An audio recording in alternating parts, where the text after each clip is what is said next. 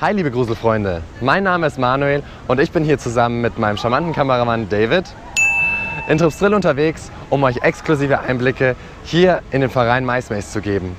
Dieser Verein bespielt seit 2014 die schaurigen Altweibernächte. Ich führe euch in drei Teilen in die Abteilung Technik, Kommunikation und Kreation. Der Aufbau ist schon in vollem Gange. Ich würde sagen, wir, wir reden gar nicht länger drum rum. Gehen wir mal in die raue Klinge.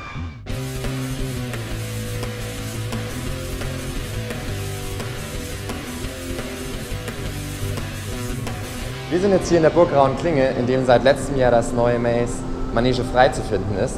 Und ich habe jetzt jemanden gefunden, der uns hier ein paar Fragen beantworten kann. Und zwar Miro Klose. Du bist seit 2009 Mitglied im Mice Maze. Richtig.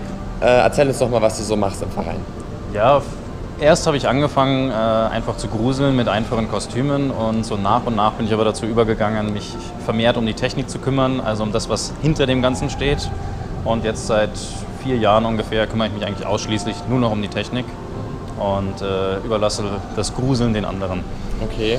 Was hast du dann genau zu tun? Ja, also unser Technikteam hat sehr viele unterschiedliche Aufgaben. Es geht eigentlich schon mit den etwas trivialen Aufgaben los, äh, den ganzen Bestand zu kontrollieren, zu sichern, nach der Veranstaltung die Geräte zu reinigen, zu prüfen, ob alle funktionieren, äh, zu katalogisieren, äh, Defekte eventuell austauschen oder ähm, eventuell noch ähm, flicken, sofern möglich. Ähm, und dann natürlich einlagern. Ähm, dann geht es weiter mit der Technikplanung für das neue Spieljahr.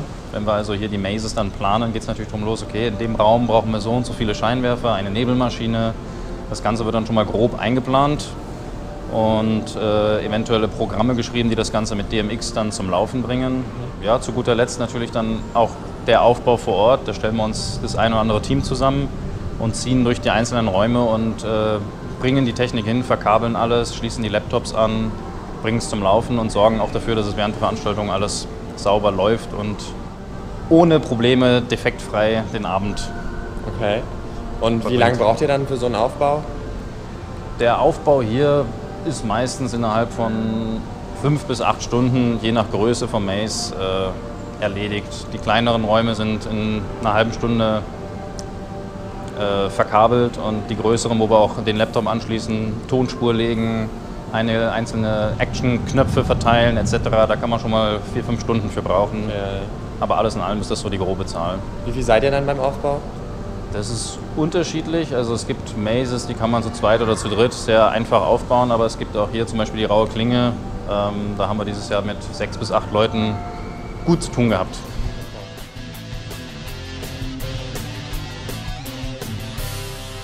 Also vielen Dank, Miro, dass wir dich jetzt heute begleiten durften und dass du uns einiges gezeigt hast. Ähm, jetzt werden wir das Grusellabyrinth mal einschalten. Wo muss ich drücken? Da, glaube ich, oder? Nein, nicht den. Oh, okay. Ähm, gut. Das war wohl der falsche Knopf. Ähm, wir machen jetzt mal lieber Schluss. Wir sehen uns dann nächste Woche. Bis nächstes Mal. Ciao.